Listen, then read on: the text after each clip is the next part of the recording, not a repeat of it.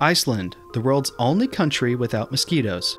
Well, technically, this isn't true. There is one mosquito in a jar at the Icelandic Institute of Natural History, but we don't talk about him. Why, you ask? Because he died trapped in a jar after hitching a ride on an airplane, and his legacy deserves a little respect. Capiche? So, just how is it Iceland escapes the clutches of this Draculaean pest? In a nutshell, their climate.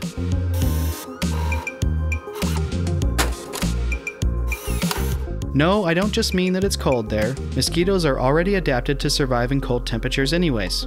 For example, they've become a menace to Antarctica, so much so they now threaten the continent's fragile ecosystem. Iceland is unique because of the variable nature of its winter. You see, the mosquito life cycle consists of four main stages.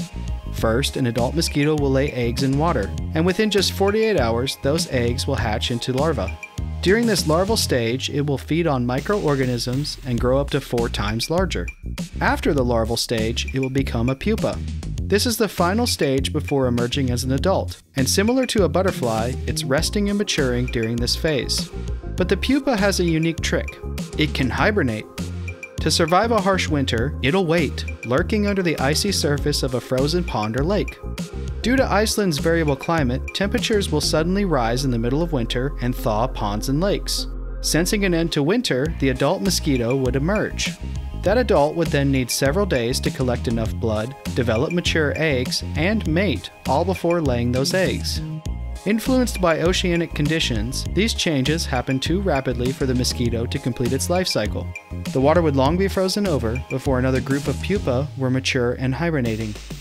Now, before you run off thinking, today I've learned I'm moving to Iceland, there are two caveats to consider. While technically free of mosquitoes, Iceland still has an abundant population of midges and black flies. These two pests won't pierce through clothes like Dracula in a blood bag, but they will bite any exposed skin. Iceland is also unlikely to be free of mosquitoes forever. Due to rising temperatures, the conditions that mosquitoes can't tolerate are gradually disappearing. In this new climate, they'll have a better chance of reproducing and may be a part of Iceland's future. For now, though, Iceland is the world's only safe zone for mosquitoes. For everyone else, I'd recommend some repellent.